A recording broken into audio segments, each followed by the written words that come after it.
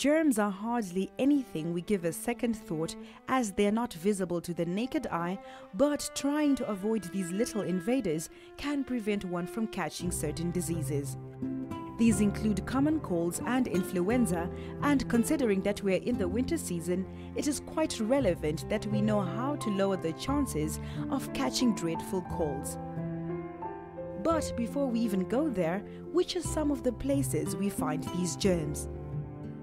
Lifestyle and One spoke to a local occupational therapist to give us more insight.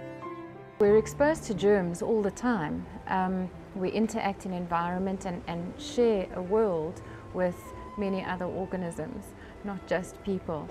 Um, so when we cook food and prepare meals, we're exposed to germs. When we share space with other people, we're exposed to germs.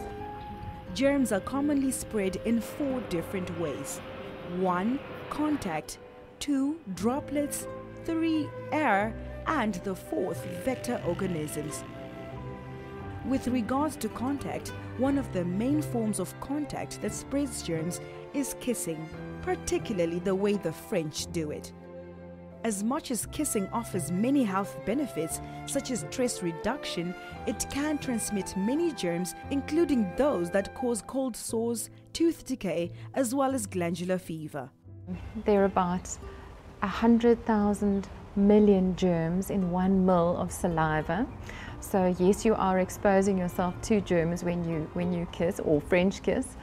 Um, but kissing also has very beneficial effects because it increases your, your sense of belonging, your bonding, um, and builds your relationship with your partner and, and with humans. It shows love and affection.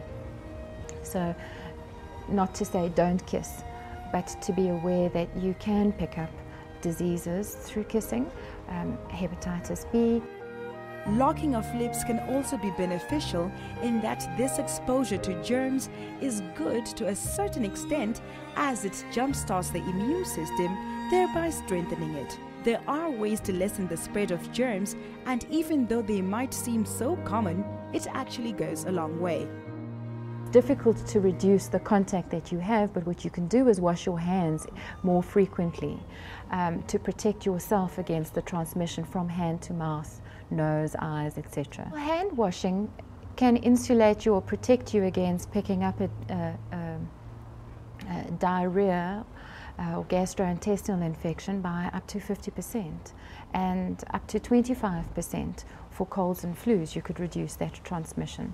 So hand washing plays a significant role.